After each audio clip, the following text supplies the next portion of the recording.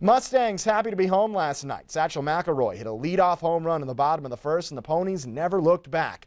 Could Hunter Greene keep the good times rolling in game two against Missoula? Greene's teammates could. Bottom two, Leandro Santana. Lines one just over the first baseman's head. Hendrik Clementina comes in to score the first run of the game. Later in the inning, Jeter Downs lifts one to left center, plenty deep enough to score Stuart Fairchild on the sac fly. Mustangs take an early 2 0 lead. And just like last night, it was more than their starter would need.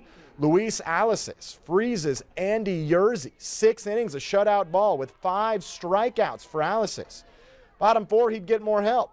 Nadir Latifi sends one into center. Downs scores easily from third. Latifi had a three for three game from the number nine spot. Mustangs win the first two of the series, 4 0 as they blank the Osprey.